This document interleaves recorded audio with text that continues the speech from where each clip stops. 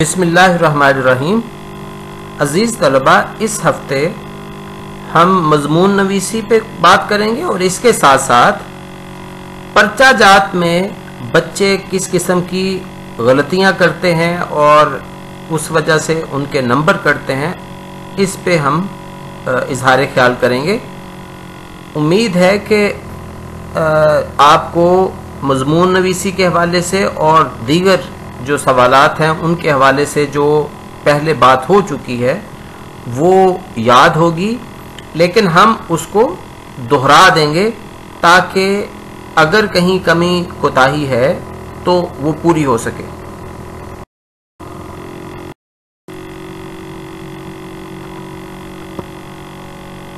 इन उनवानात की तदरीस का मकसद मजमून नवीसी के फ़न में महारत पैदा करना है और साथ साथ जो अगलात बच्चे करते हैं, पेपर हल करने के हवाले से, उनको दूर करना है ताकि वो गलतियाँ ना दोहराएँ और अच्छे नंबर हासिल कर सकें। अज़ीज़ तलबा, मजमून नवीसी के हवाले से हम पहले भी बात कर चुके हैं। जैसा कि आप जानते हैं कि किसी भी उनवान पर मालूमात यकजा करके उसके जैली मौजूद पर रोशनी डालते हुए दिलचस्प और जाम मवाद को तरतीब, तसलसल और रवानी के साथ पेश करना या किसी मौजू पर तरतीब के साथ इजहार ख्याल करना मजमून कहलाता है। और मजमून को तीन अज्जा में, तीन हिस्सों में तकसीम किया जाता है, तमहीद, नफ्स मजमून और ख़ात्मा। तमहीद मौजू का तारफ़ होता है नफ्स मजमून मौजू के बारे में मालूम और तफसीलात होती हैं उसका मतन होता है और ख़ात्मा जो है वो मौजू को आखिर में इस तरह से आ, उसका अहाता किया जाता है कि उसका खुलासा बयान हो जाता है और पढ़ने वाले को समझ आ जाती है कि बात क्या हो रही है। मजमून नवीसी के कुछ रहनुमा असूल मैंने आपके लिए लिख दिए हैं। इसके अलावा भी हो सकते हैं, वो आप देख सकते हैं, कहीं से भी पढ़ सकते हैं। जो आपके जहन में आए, वो भी आप उसमें इस्तेमाल कर सकते हैं। मकसद इसका ये है कि आपने ओ लेवल के पर्चा, अव्वल का पहला सवाल, ऐसे आ, हल करना है कि ज़्यादा से ज़्यादा नंबर आप ले सकें।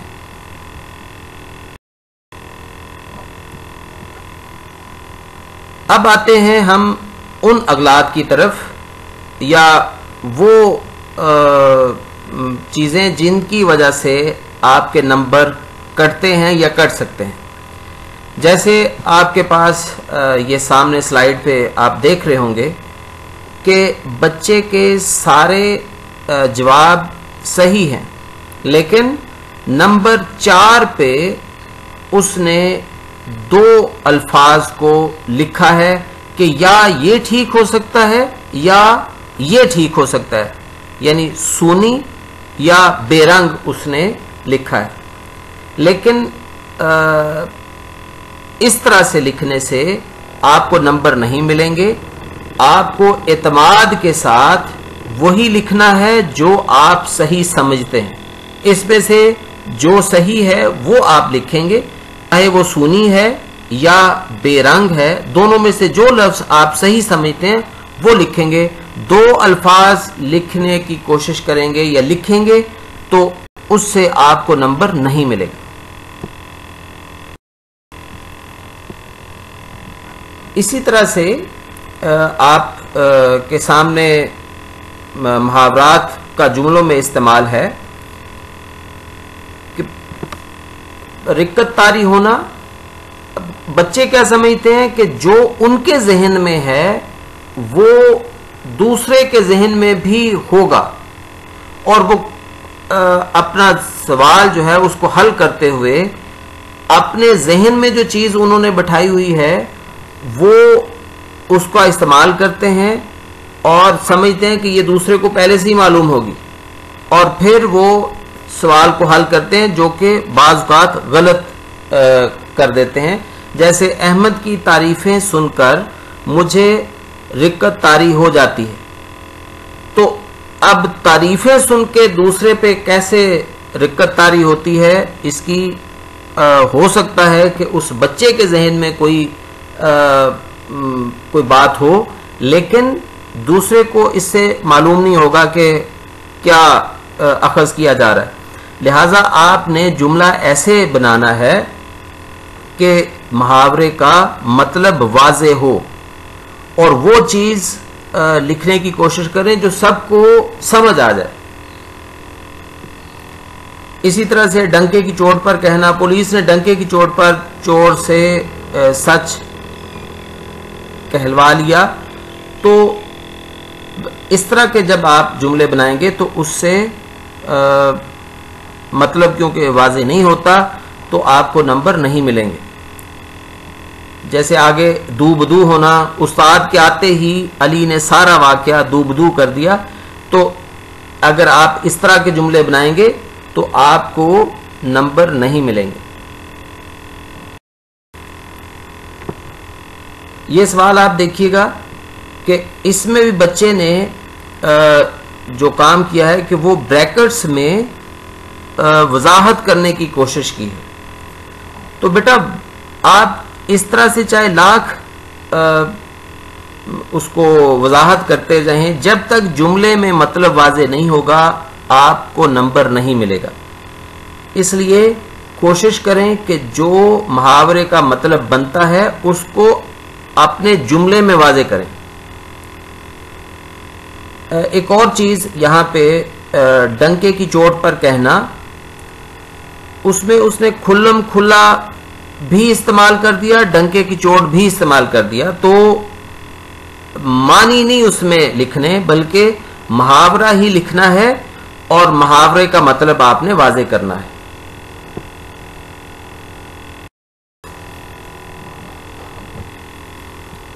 इस सवाल में आप देखिएगा कि बच्चे की लिखाई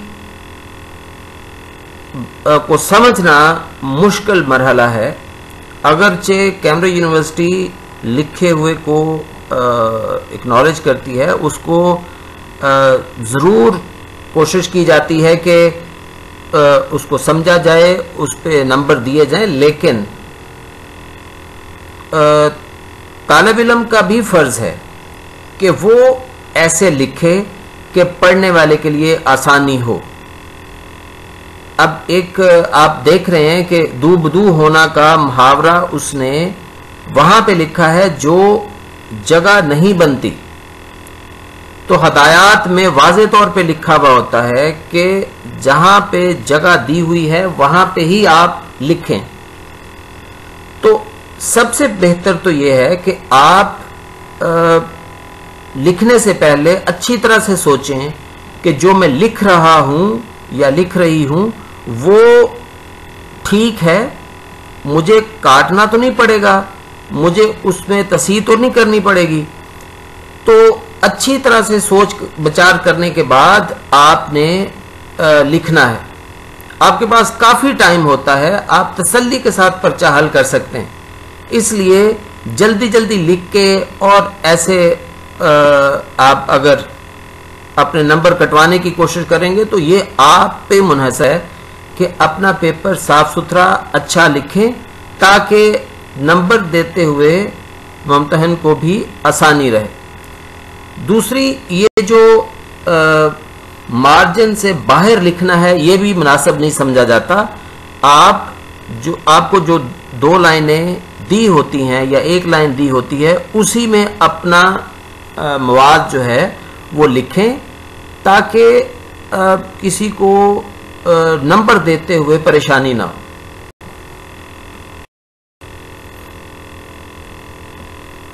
ये भी मिसाल आपके सामने है कि बच्चे ने इस तरह से लिखने की कोशिश की है कि